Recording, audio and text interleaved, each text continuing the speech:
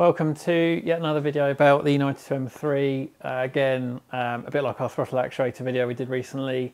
This one is covering another major issue with the E92M3 or E90M3 or E93. So S65 engine unfortunately suffers with injector failures. There's a couple of theories about why this happens. I think probably in my mind the most valid one is that the fuel filter that these car cars have is built into the fuel pump assembly and it's a lifetime filter. And over time it seems whether that disintegrates internally or, or whatever um, but basically debris gets into the fuel injectors they stick open and then they wash all the oil off your bores and will basically destroy your engine with no warning.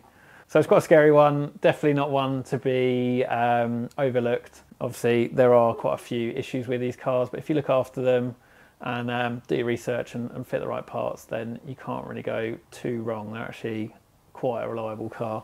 Um, touch wood. So what we're showing today is uh, we're going to be fitting a set of Bosch injectors. They're just brand new OE replacement injectors.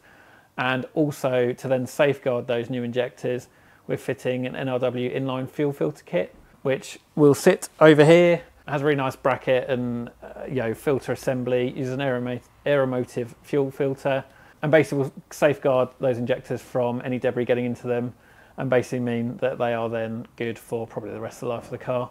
So we'll crack on. Uh, we're going to use this video as much as it is a chapter about the car. Uh, we're also going to use it to showcase that NRW product we're very lucky to be the UK distributors for NRW, so if you need any of their parts, do let us know, especially, of course, including these fuel filter kits. I've had to grab one out of stock very quickly because they keep selling out. Um, we can't keep them on the shelf quick enough. So if you want to jump on our website and order one, do it ASAP, and yeah, we can get your order with you nice and quickly. So I'll crack on. We've got a few other bits of tidying up to do while we're under there, so this isn't going to be a direct step-by-step -step guide or anything like that, but it will allow you to see what's involved, how nice the products are, and basically just give you an idea of another part of E9X M3 ownership.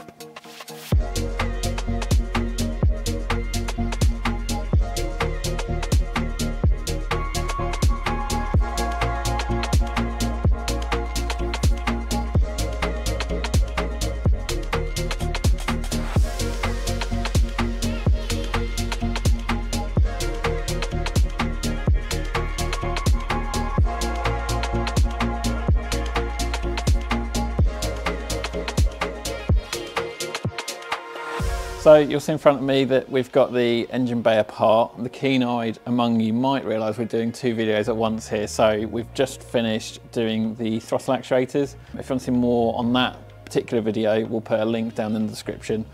But that's done, buttoned up. Obviously the engine's still sat here with airbox and everything off, ready for injectors and fuel filter. So this is one of the injectors that's going in. It's a Bosch part number and it is genuine Bosch. It's pays uh, to basically check your sources with these. So we list these on our website. You need to source them carefully, as I say, as we do. There's a lot of fake Bosch injectors out there, both direct injection and port injection like these. And a fake injector is definitely going to ruin your day because A, it won't perform, perform properly, B, it's going to be more prone to failure.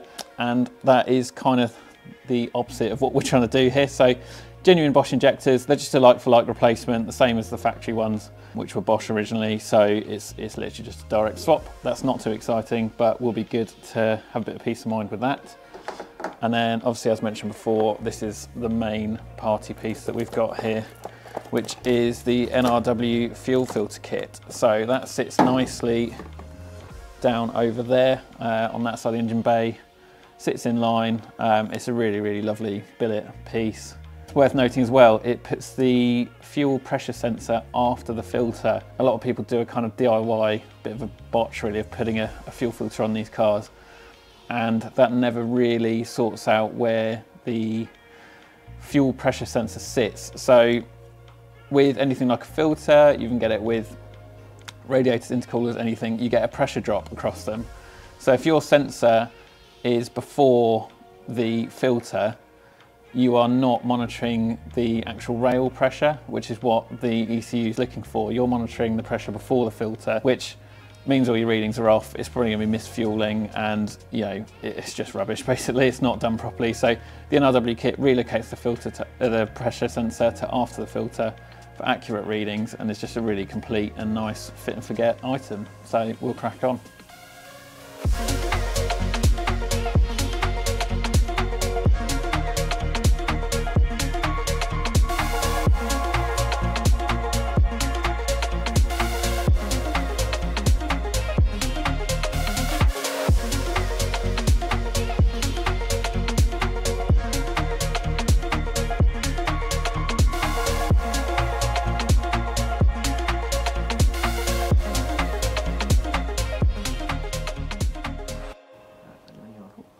So the injectors are all done. Uh, you will have seen me pop those back together. Nothing too difficult. The worst part of it is just the little wiring clip that holds the plug onto the injector, which can be a bit of a pain to unclip. But um, yeah, all done, all nice and straightforward. Now moving on to the NRW fuel filter kit. So our fuel rail is already disconnected from doing the injectors. Other than that, I haven't touched anything down here, but just been through the kit, sort of afresh with the car in front of me. Uh, this is the first one we've done in-house and um, it just looks like a really nice bit of kit. So it's mostly made of three components. You've got the fuel filter assembly itself, which just bolts on here to an existing bolt. You get an extended bolt with the kit, meaning that that all sits on there very nicely. And then you also get a blank for the fuel rail pressure sensor, which is this one here. So you blank that and you move the filter, uh, sorry, the sensor to here, connect up the fuel lines, job done. Really, really easy. So I'll crack on and then we should have this fired up in the next 10 minutes or so.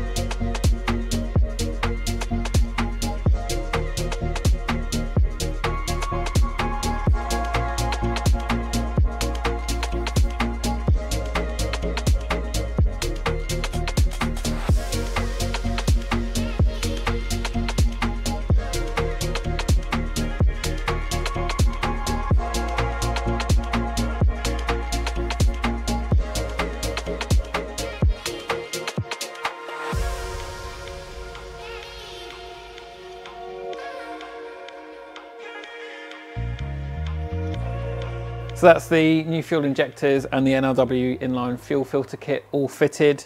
I have already primed the system just to make sure there's no leaks. It does obviously make a lot of sense to uh, make sure you don't have any leaks before you try and start the engine. So there's fuel pressure in the system. Um, it's probably going to take a little bit longer to get through to the injectors, but we're going to give it a first fire up and then we should be good to go with finishing reassembly.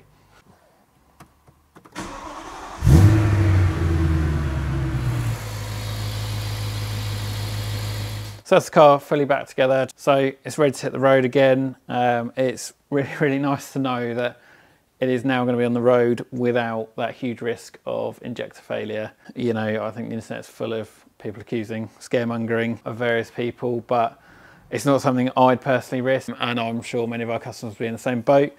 And it's even nicer to know that not only the injector's new, but that I've got that NRW fuel filter kit in there to make sure that they are fed with really clean fuel and that the problem doesn't come up in future. So this car's now ready for many more happy miles and uh, I'm going to go on crack on and do them as soon as this bloody weather cheers up. Thank you very much for watching. If you would like to see more of what we do, please like and subscribe. Really, really helps us. And you know, we're hoping to do more with our YouTube channel this year. So keep it coming and we will hopefully give it back in terms of plenty of content.